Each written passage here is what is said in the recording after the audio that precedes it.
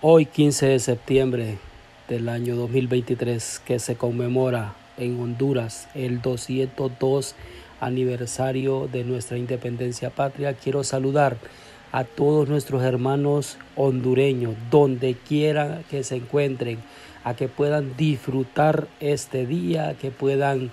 ver cada una de las transmisiones, que puedan eh, hacer, hacer patria donde quiera que se encuentren eh, luciendo un atuendo, eh, cantando una canción alusiva a la patria, porque la patria se lo merece.